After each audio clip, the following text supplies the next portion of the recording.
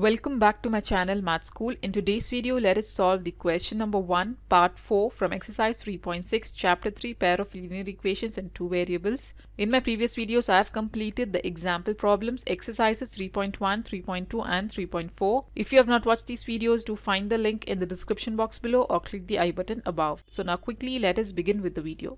Part 4 from question number 1, exercise 3.6, chapter 3, pair of linear equations and two variable says, solve the following pairs of equation by reducing them to pair of linear equations. So these are the two given equations where we have to reduce them first to a pair of linear equations and then we have to solve them to find out their solutions. So how we solved in our previous problems from question number 1, same way we are going to solve these problems also. So first of all, let us write down the general form of a pair of linear equations which is given by a1x plus b1y plus c1 equal to 0 and a2x plus b2y plus c2 equal to 0. Here the variables should always be in the numerator whereas in the given equation you can see that the variables x and y is given in the denominator okay the coefficients can be in the denominator but the variables has to be in the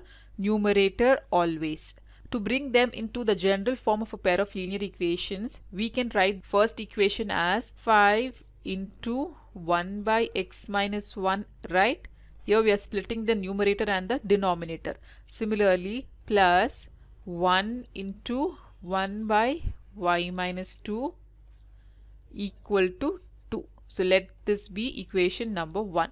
Similarly, from the second equation, we can split the numerator and the denominator and we can write 6 into 1 by x minus 1 minus 3 into 1 by y minus 2 equal to 1.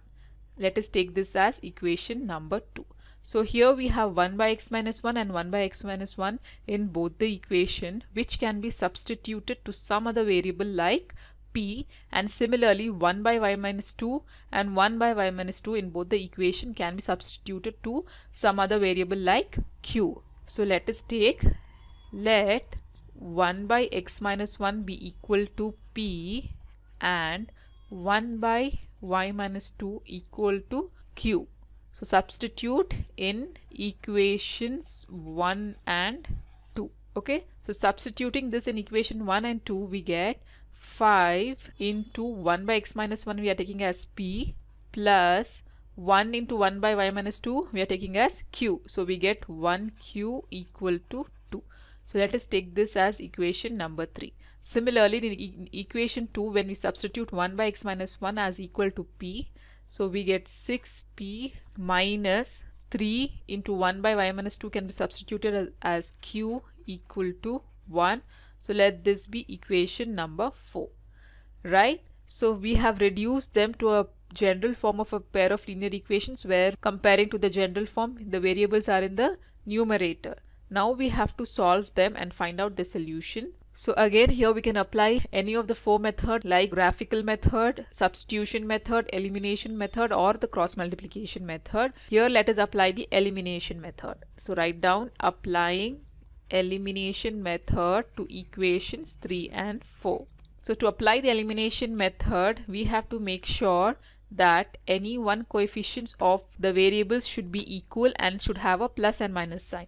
So here the variable q has plus and minus sign whereas the coefficients are not equal. Here we have 1 and 3. So to make the coefficients equal, so here let us multiply the coefficient of q that is 3 to the equation 3 so that the coefficients of q become equal. From equation 3 we have 5p plus 1q equal to 2 and from equation 4 we have 6p minus 3q equal to 1. If we multiply the coefficient of q that is 3 to equation 3 we will get the equation as 5 into 3 is 15p plus 3q equal to 6 and the equation 4 will be as it is that is 6p minus 3q equal to 1. So here we can notice that the coefficient of q is equal that is 3 and also it has a plus and minus sign. So directly we can eliminate the variable q. So we will be left with plus 15p and plus 6p where we will add up becomes 21p equal to here 6 plus 1 is 7 right so we got p equal to 7 divided by 21 so cancelling 7 one times 7 three times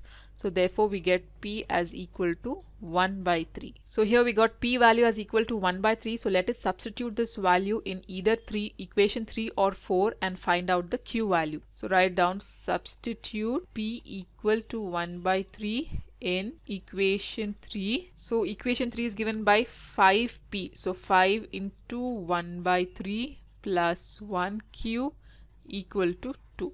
So this becomes 5 by 3 plus 1q equal to 2 sending this 5 by 3 to right hand side so we get 1q equal to 2 minus 5 by 3 so let us take the LCM here. So LCM will be 3 so 3 into 2 is 6 minus 5 1q is equal to 6 minus 5 will be 1 by 3 so we got q as equal to 1 by 3 but we had assumed initially q value as equal to 1 by y minus 2 right? So we had taken q as equal to 1 by y minus 2 and also we obtained q value is equal to 1 by 3 so equate the right hand sides of these two equations.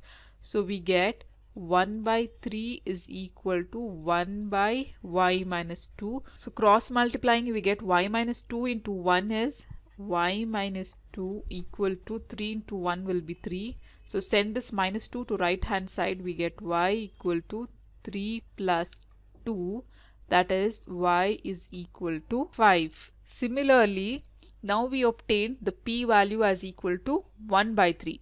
Also we know that p is equal to we had assumed 1 by x minus 1. So we got p as equal to 1 by 3 and p as equal to 1 by x minus 1. So equating the right hand sides here so we get 1 by 3 is equal to 1 by x minus 1 and cross multiplying we get x minus 1 into 1 will be x minus 1 equal to 3 into 1 is 3. So sending this minus 1 to right hand side we get x is equal to 3 plus 1 or x is equal to 4 right. So we got the solution that is x equal to 4 and y is equal to 5 for the given pair of equations. So this is how we solve this problem. If you have any further doubts, do comment me below in the comment section.